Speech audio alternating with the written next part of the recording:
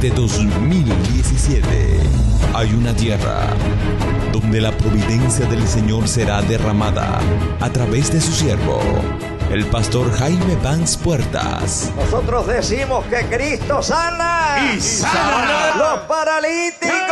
Camina y camina bien. Con bendición y sanidad. Sábado 23 de septiembre es la hora de tu milagro. Gira confirmando a los creyentes Santo Domingo 2017.